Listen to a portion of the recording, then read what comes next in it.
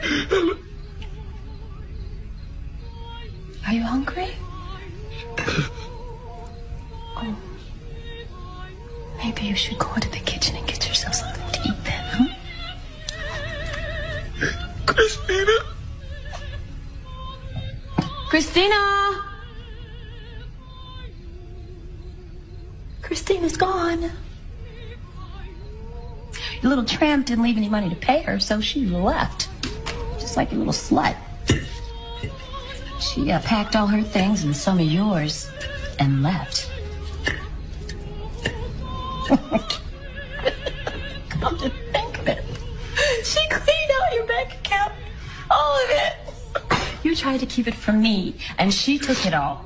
Huh?